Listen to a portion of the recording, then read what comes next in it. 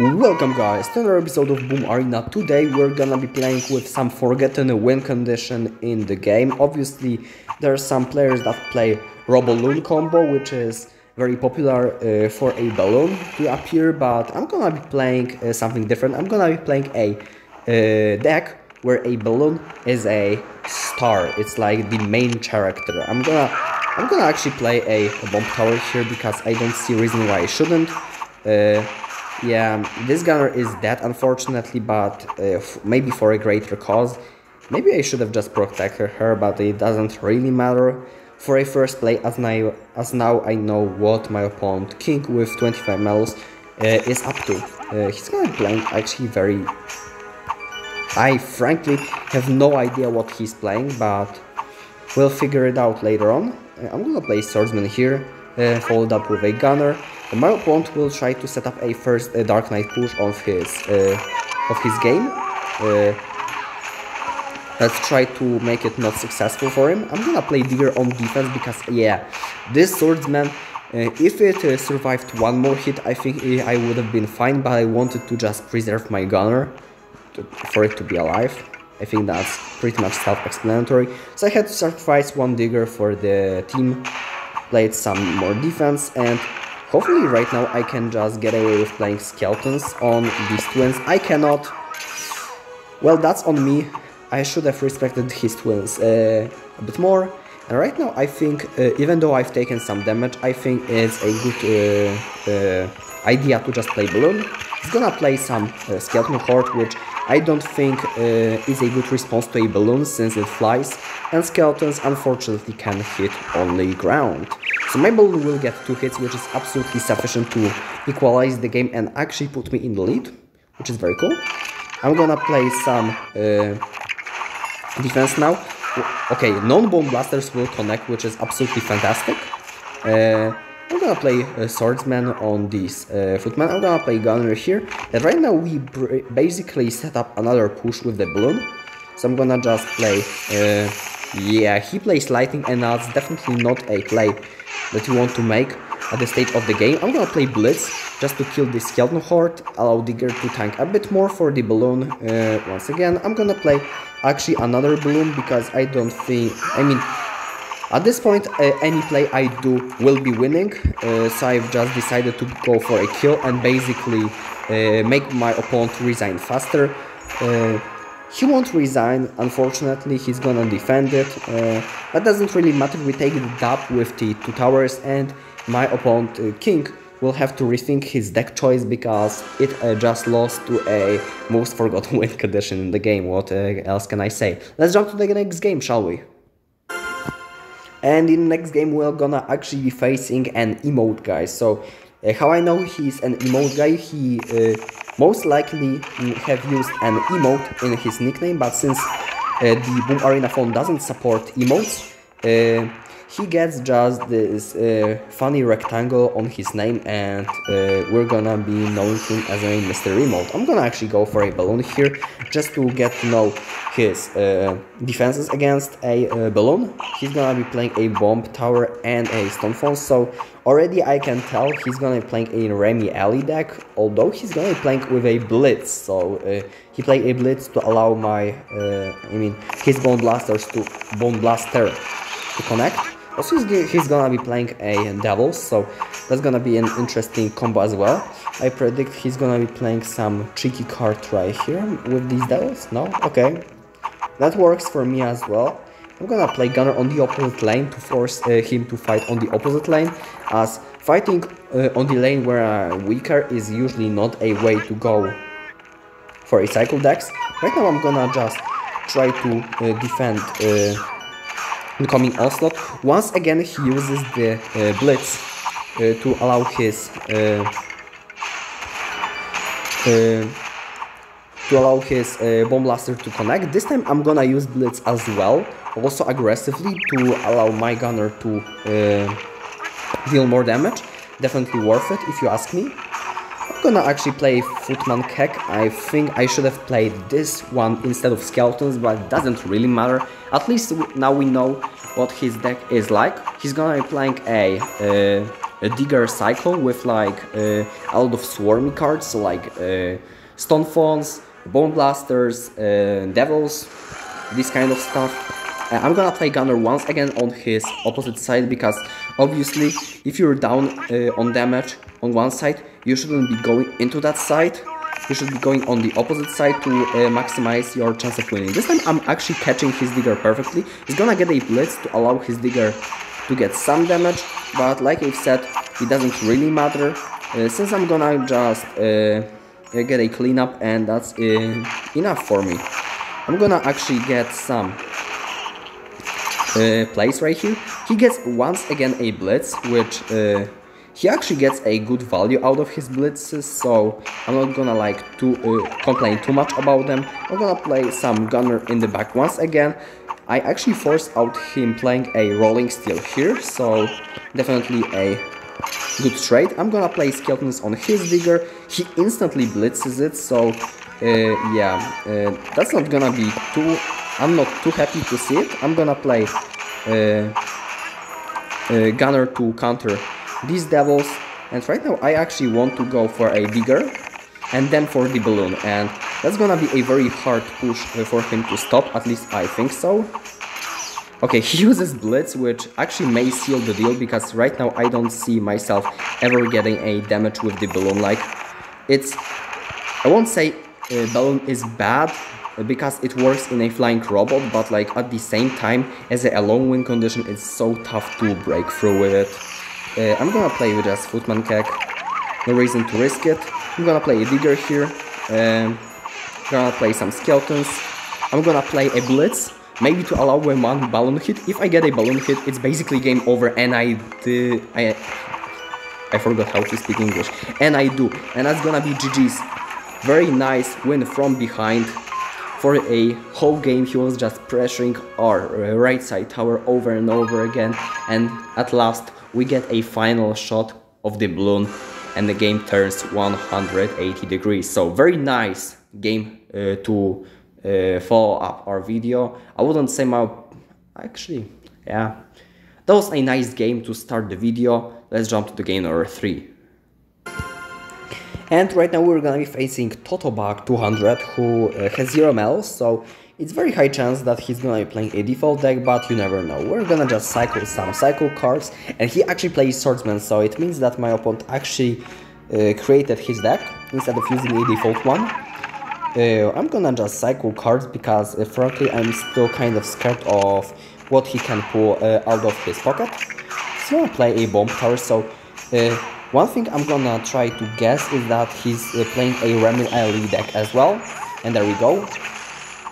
Everything is uh, kinda suggesting that option. Unfortunately, he can activate a Viking Tower with this balloon, and he will. Uh, very nice play out of him, which will actually make my uh, defenses very weird. He actually calls me noob out of uh, nowhere, I would say. Uh, very impolite play, indeed, but yeah, we're gonna just basically try to outplay this guy, so we're gonna just uh, reset. I don't think the pushing into a piercing archer is a good thing to do. I'm gonna just play uh, gunner in the back. He's gonna actually play a uh,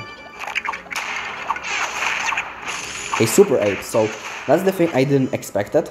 Uh, didn't expect, well, grammar. I'm gonna just cycle to my uh, swordsman and then play balloon because I basically in this matchup have to be the aggressive one. If uh, my opponent ever gets uh, the aggression going, I pretty much cannot stop him because his cycle is faster. Uh, so I, uh, like I've said, uh, have to be the aggressive one. And right now I'm gonna actually get a death damage on his tower, which is very huge because in this matchup he has both building and cycle against my balloon, which means I will uh, very likely not be able to like uh, get a consistent connections. So death damage will be uh, absolutely appreciated. I'm gonna play bomb tower. I wonder what his what's gonna be the spell of his choice. Uh, earthquake. Interesting earthquake to say the least. I'm gonna play some balloon followed up with the digger. My opponent should be uh, ready with a uh, Cyclone, and there we go. I probably could have just uh, blitzed a, a, bomb tower and I should have been a better play, but at the same time, who really knows? My bomb tower was a uh, having enough HP to just survive Earthquake, which is absolutely brilliant. I don't think I should be committing into uh, this uh, bridge fight. And maybe I should, actually. I don't see him uh, getting too cocky here as well. I'm gonna play a Digger tank for the balloon. My balloon actually will skip, so he'll have to spend a Cyclone on defense and every cycle that he spends on defense he cannot use on offense so that's gonna be absolutely fantastic uh, news for me. I'm gonna play a bomb tower to defend the super ape and unfortunately he cannot break it even with EQ. I'm gonna play Muscle, uh, the gunner to predict his piercing archer. I don't get a prediction but I get a gunner against a bomb tower which is absolutely brilliant. Uh, I'm gonna get a blitz on this piercing archer because I think that yeah that's gonna be 100% death drop but it could have been a hit, so he had to be a bit careful uh, about it. I'm gonna play uh, Bomb Tower here. Unfortunately, I don't catch an Ice Tiny uh, uh with my... Uh, um, yeah, I don't catch Ice Tiny with my uh, Footman Keg, but it turned out to be fine. at, at the end of the day, I end up being up damage because I was the aggressive one. I was getting these balloon death drops over and over again, uh, digger chips, like every single damage that I could and my opponent wasn't just uh, able to break through my defenses. So yeah, that's gonna be the game number. Uh, oh my god, was it 3 or 4? I, I, I don't mind, I'm gonna just play two more games and wrap... Maybe one game, I don't know. Uh, and wrap this video up. So yeah, stand by. Okay, so I've just checked a footage and actually uh, we are just three games into the video and that means obviously that I owe you uh, two more games and uh, my opponent will be once again Saket who will be absolutely trying his best to uh, avoid any complications with my balloon. Uh, that was a cute defense out of him. I'm gonna try to defend his flying robot as well by playing a gunner there should be no problem at all. I'm gonna play a bomb tower to kite his balloon and uh, yeah, after that we're gonna basically try to uh, defend. It's gonna be a very nice hold. I don't think I even get a death damage, but obviously some pop damage will come, so that kinda sucks. I don't really mind it though. Uh, my gunner should be cleaned up by his swordsman. Maybe he'll even suck it. Okay, uh, here comes the swordsman, so uh, as predicted, it's gonna be a correct call. Right now, the game plan against a flying robot will be basically to counterplay every single time uh, that he's gonna play it. Uh, and there we go. I hope my skeletons will like distract uh, his super devil from hitting bone, and there we go. That's gonna be one hit. I think that's gonna be two hits. And okay, if the Super Devil were to hit a uh, skeleton, it would have been a 3 hits and a tower down, but unfortunately we're gonna have to uh, work with uh, what we have. I'm gonna play Bomb Tower here to the balloon, obviously the uh, good and uh, reliable way of dealing with that. I'm gonna try to uh, get this balloon before it reaches the tower, and I actually get because Actually, in this game, uh, it's an unfortunate interaction for him. If you uh, stun some, uh, I mean, if you knock back some troop, it counts as a stun as well. So my gunner targeted to the balloon. That's a very unfortunate interaction for him, as I uh, know that he would love uh, this gunner to still be locked at the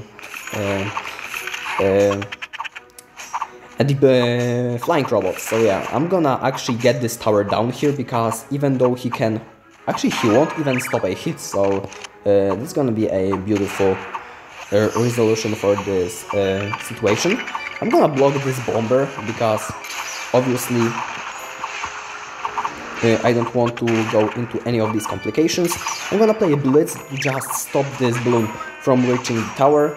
I, I He's gonna get a very aggressive right here, so I'm gonna just play Bomb Tower on this and basically try to hold it.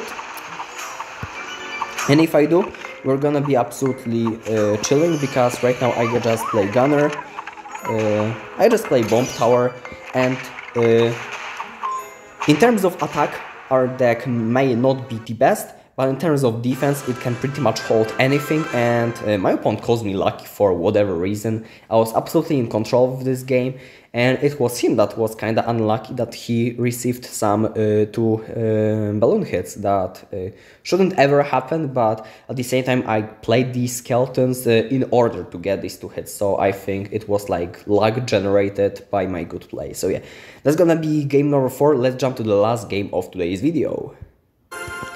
And the last game of today's video will be against Al Mohama, who's gonna be playing a Footman Hut at 16 medal range. Very interesting indeed. Uh, Footman Hut basically is one of these neglected cards that basically no one uses uh, uh, nowadays because uh, even though it has some niche usages, it basically is uh, absolutely outshined by its competitors, which is Fon Hut, uh, which is Cannon, basically better picks uh, than the Footman Hut because uh, yeah, it, it doesn't like serve uh, like a super role that uh, can bring you a lot of value. It usually is a sitting dog because you're playing like a building which provides you with three footmen for four mana, which is like not perfect, but there are some players that use it, for instance, it can be like good in certain matchups, especially in like best of three duel set. If you use Cannon and Fon Hut, you usually can like slap a uh, uh, uh, this uh, Footman Hut into some decks if you kind of feel comfortable with this. I'm gonna actually protect this balloon. I kinda was just about to do it, but at the same time we protect the gunner which is as good as protecting balloon, maybe not as good, but we get a lot of damage from her and that's definitely something to uh, brag about. Uh, I'm gonna counter the swordsman with skeletons, I think it should be sufficient. There should be no tricks uh, in up his sleeve, unless he like freezes the tower, but like it's very unlikely and it would have been not worth it for him because I was always ready with a footman keg. So, uh, gonna playing a Drunken Loon. That's gonna be his plan of taking my tower. Uh, it's always uh, good to know what your opponent plan is because uh, uh, you can always prepare against that. And now I know my opponent is playing Drunken Loon, I can already starting to uh, prepare some plans against it. So uh, I'm gonna actually get a digger against his piercing archer which was absolutely perfect as my bone will connect and uh, rain terror uh, across uh, his um, position. I'm gonna play a uh, footman keg to counter his piercing archer. Unfortunately he was fast enough to protect it with swordsman but I don't think he's gonna uh, ever come back into this game because of how bad of a position he has found himself in. I'm gonna play Digger here actually. It was very unfortunate that I've played it directly into uh, my opponent's swordsman, but it doesn't really matter since the game is over anyway. We're gonna just play Balloon Skeletons, say once more good game, and that's gonna be also a wrap for today's video. So uh, that's basically why no one plays a uh, balloon cycle decks it's very difficult to play and there are way uh, better decks that like uh, are easier to play and uh, score better in uh, current meta. So if you want to play it i don't advise you but uh, you can like train your micro and stuff. You can check it out basically. But there's a video uh, if you enjoyed it though thank you for watching till the end. Yeah like always, I'm gonna obviously self-advertise myself that uh, if you enjoy this video, you want to subscribe to my YouTube channel, but it's kinda true. If you enjoyed my content, you want to subscribe to not miss out any new content, maybe I'm gonna do a deck on your, I mean the video on your favorite deck and if you want me to actually do it, let me down in the comments down below because I check them and uh, the next video may be about your deck, you never know. And yeah, with that being said, thanks for watching till the end. Once again, I'm gonna see you guys in next episode of Boom Arena.